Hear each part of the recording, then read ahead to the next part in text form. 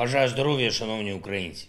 Провів сьогодні чергове засідання ставки. Засідання, яке за своїм характером відповідало ситуації на передовій на найбільш принципових напрямках. Звичайно, питання номер один це Солидар, це Бахмут, це боротьба загалом за Донецький напрямок. Детально розібрали, які рішення потрібні, які підкріплення потрібні, які кроки мають бути зроблені командувачами вже найближчими днями. Також обговорили ситуацію з постачанням зброї та боєприпасів у війська, відповідну взаємодію з нашими партнерами. Говорив сьогодні про перспективи найближчих тижнів і місяців зі спікером Сейму Латвії, який прибув з візитом у Київ. Про перспективи не тільки оборонні, а й політичні, зокрема про європейську і євроатлантичну інтеграцію України. Я почув впевненість у тому, що обов'язково настане день, коли український прапор буде абсолютно на рівних з усіма прапорами держав-членів Євросоюзу. Латвія нам у цьому допомагатиме.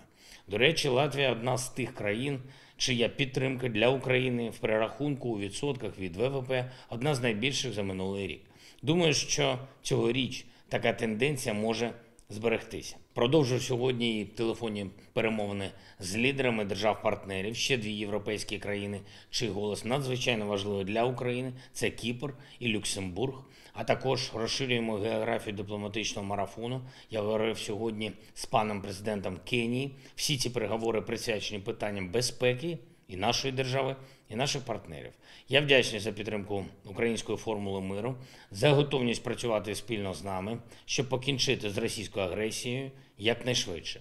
Дуже важлива ініціатива України це створення продовольчих хабів в Африці. Наша зовнішня політика має вийти на новий рівень з африканськими партнерами. Там вже відчули, що від українського експорту продовольства прямо залежить безпека різних народів. І ми хочемо закріпити це на рівні конкретних інституцій, конкретних об'єктів, хабів, тобто конкретних гарантій продовольчої стабільності, які постійно працюватимуть, і які будуть однією з нових основ відносин України та держав африканського континенту. Відбулося сьогодні відкриття нового напрямку в нашій державній благодійній платформі United 24. Це напрямок відбудови України, тобто це генерація коштів для відновлення, зокрема житла для українців на територіях, які постраждали від російських ударів та окупації. Станом на цей день тільки через United 24 зібрано вже близько півмільярда гривень від людей з понад 100 країн для відновлення житла. Це відчутна допомога і місцевим громадам, і державі.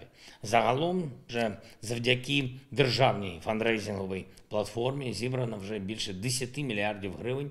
Я дякую всім, хто долучився до зборів United 24. Дякую всім, хто допомагає Україні. Дякую кожному і кожній, хто воює за Україну.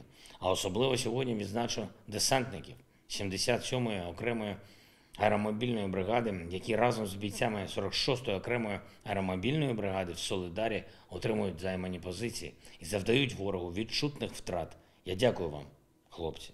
Слава Україні!